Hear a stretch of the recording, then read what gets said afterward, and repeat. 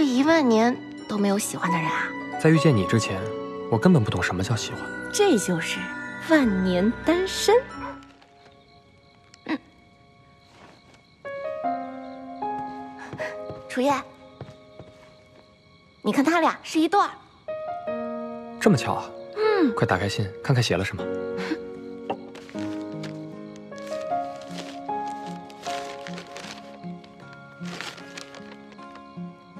我多想遇见你，可山南水北，你我之间，人海如潮。今生来世，来世今生，谁能聚首再相逢？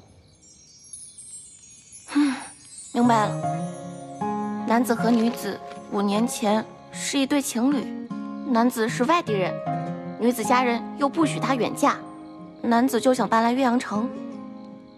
可是他也是家里的独子，他母亲认为待在岳阳城就是入赘。一对有情人就因为长辈的反对而分开了。男子临走之前，把如意的另一半给了女子。这感情明明是两个人的事，长辈还要多管闲事，唉，真是糊涂。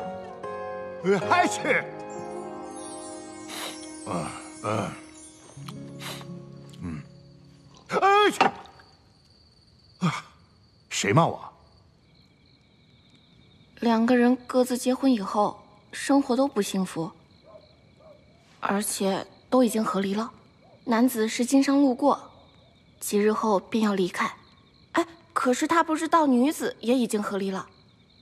不行，我要把他们俩摆在最显眼的位置。你觉得他们会来？当然了，没有人会忘记自己第一个喜欢。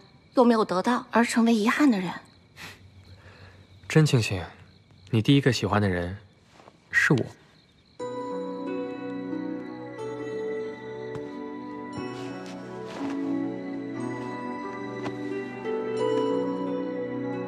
那你第一个喜欢的是人还是神仙呀？当然是你了。你活了一万年。这一万年都没有喜欢的人啊。我在天上总是独来独往在遇见你之前我根本不懂什么叫喜欢嗯这就是万年单身。